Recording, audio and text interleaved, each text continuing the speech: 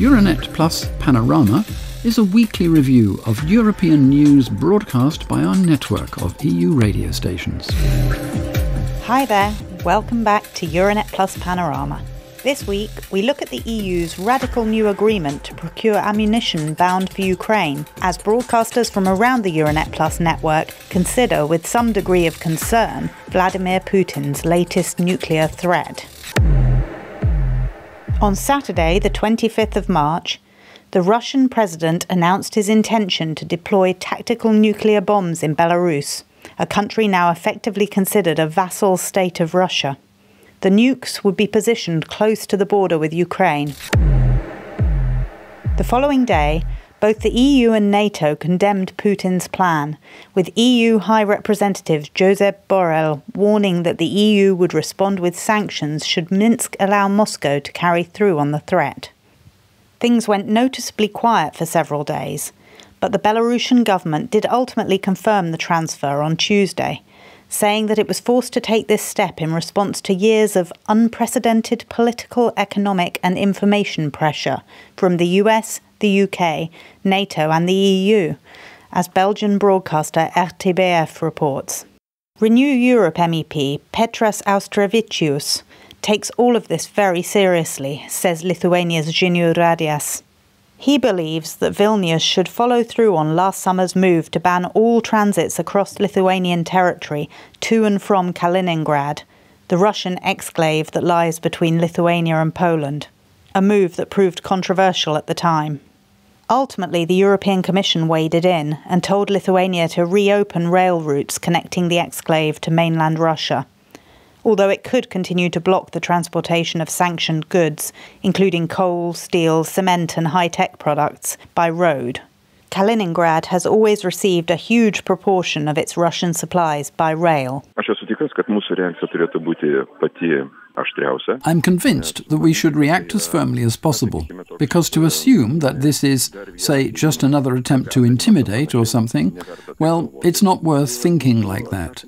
Our response should be both strong and very specific. One thing I would suggest the Lithuanian authorities think carefully about is restricting, essentially stopping, transits to Kaliningrad if such acts of nuclear blackmail from Russia, with the support of the Belarusian authorities, actually become a reality.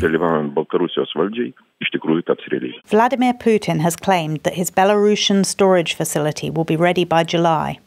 This same month, Lithuania is to host a NATO summit, bringing world leaders, possibly including Ukrainian President Volodymyr Zelensky, flocking to Vilnius, which lies close to the Belarusian border. So, is Putin's timeline a coincidence? Laurynas Jonavičius, an advisor to Lithuania's foreign minister, thinks not. It's probably related. It probably has to do with the fact that they are also trying to influence the decision of the NATO summit itself to prevent maximally effective security enhancing decisions. All of this is really part of a logical chain, which boils down to Russia's attempt to deter NATO, to deter the West, from making decisions that are not favourable to either Russia or Belarus. Poland, which also shares a border with Belarus, is pushing for another package of sanctions, says Polski Radio, but this time one that specifically targets Belarus. At a meeting with his Romanian counterpart in Bucharest on Tuesday, Polish Premier Mateusz Morawiecki said that he is in close contact with other EU leaders on what such sanctions might look like. The step that Russia has decided to take, that is, the deployment of tactical nuclear weapons in Belarus, will definitely lead to Belarus being subject to additional sanctions and these sanctions will be significantly more painful for the Lukashenko regime. Morawiecki added that Poland is also considering the possibility of tightening its own policy towards the Lukashenko regime.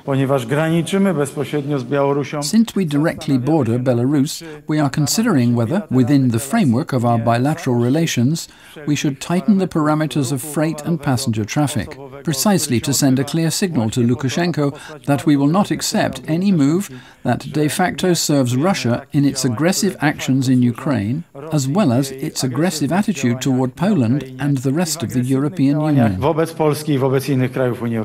Security expert Rainer Saks the former head of Estonia's foreign ministry, tells Kuku Radio that the whole subject of nuclear weapons is a trigger for panic in Western society and urges calm. He believes that Moscow is playing on these fears to wage a battle of nerves, but that there is no additional military threat involved. Saks states categorically that this latest threat will change nothing in Ukraine, but that it will serve to have a detrimental effect on Belarus by chipping away further at the country's already shaky sovereignty. Kõige olulisem on see, et vähendab veelgi Valgevene niigi väheseks. The most important thing is that it reduces the independence of Belarus, which is already quite limited. It is yet another step towards taking control of Belarus. This is an important moment that must not be forgotten. Ukraine will not be deterred in any way, because Ukraine has no options anyway. They have said that they will continue fighting, regardless of what Russia is planning, because they have no alternative.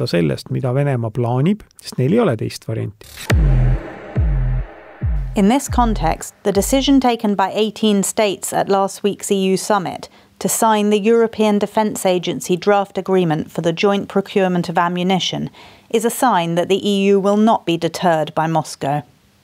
The aim of the project, which will receive European Peace Facility funding, is to help member states replenish their ammunition reserves while continuing to support Ukraine. The agreement will also enable them to benefit from bulk discounts and avoid delays due to unexpected spikes in demand. This historic decision to finance and facilitate the supply of ammunition to Ukraine has sent ripples through the European community. And it was all set up in record time as European Council President Charles Michel explains. President Zelensky made one thing very clear. To defend himself, Ukraine needs more weapons and more ammunition. We endorsed the decision on ammunition agreed by the Foreign Affairs Council. We acted quickly. It took barely six weeks after Prime Minister Kallas proposed the idea and when we tasked the High Representative with taking it forward. Our goal is to provide 1 million rounds of ammunition within the next 12 months. The European Peace Facility and European Defence Agency will help to get it done, and this joint EU initiative constitutes a major new step towards a genuine European defence. Since the summit, most other member states have now signed up or are in the process of doing so. Spain, for one, signed on the dotted line on Wednesday, says Es Radio. Latvia is also en route to joining the agreement, as Prime Minister Krišjānis Kariņš explains. Uh, it is clear that Ukraine needs this ammunition right now, and all European and NATO countries also need ammunition because they are providing supplies to Ukraine from their own stocks, and these stocks need to be replenished. We can also assume that at least this year, but maybe for the next few years, Ukraine will need a lot more ammunition. Latvia's radio highlights that Riga will also be seeking to produce greater quantities of ammunition and military equipment at home. Likewise, Slovenian PM Robert Golob firmly backs the EU's commitment to supply Ukraine with ammunition and wants to ensure that this ammunition is not only purchased within the EU, but produced in the bloc too. RTV Slovenia shares his comments. The debate must move, and is already moving, towards establishing evenly distributed production within the EU, evenly distributed capacities, including geographically. Slovenia will be involved in the production side as well as in the purchasing side, and the goal is to make the former aspect truly European. This will continue to be our position. Bulgaria, though, is virtually on its own in showing no inclination to join the agreement. In the absence of a Prime Minister, President Rumen Radev has been representing the country. Despite the previous parliament clearly voting to provide assistance to Ukraine, Radev has found himself in the uncomfortable position of attempting to straddle the fence, lending just enough support to international initiatives to keep the EU off his back while withholding support for Ukraine at home with Sunday's parliamentary elections in mind. So, at last week's meeting in Brussels, Radev said that Bulgaria would produce shells for other member states, but only on the condition that these shells do not reach Ukraine. We will commit to supplying our partners and allies with shells if they ask us to but not Ukraine. Is that clear? Bulgarian will not participate in this joint order of shells for Ukraine. Yet critics claim that Radev does not have the authority to impose this kind of condition. One such is former Prime Minister Ivan Kostov who is speaking exclusively to BNR. With these statements regarding the European Defence Agency initiative to provide 2 billion euros worth of ammunition to Ukraine, the president has usurped power.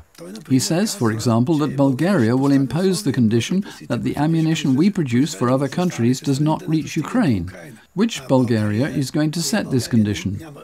Given that Parliament has obliged the executive twice, once on the 3rd of November and a second time on the 9th of December, to provide the necessary military equipment to Ukraine, he says he's defending the country's sovereign position, but he has no right to do so, as he is not the sovereign of this country. Brussels' hope is that this agreement will encourage member states to relinquish some of their own ammunition stockpiles to Kiev without delay, safe in the knowledge that they will be reimbursed to the tune of up to 1 billion euros. The second billion mentioned by Ivan Kostov will then be put towards joint procurement. So that brings our Panorama podcast to a close. Make sure you come back next week for another look around the Euranet Plus network.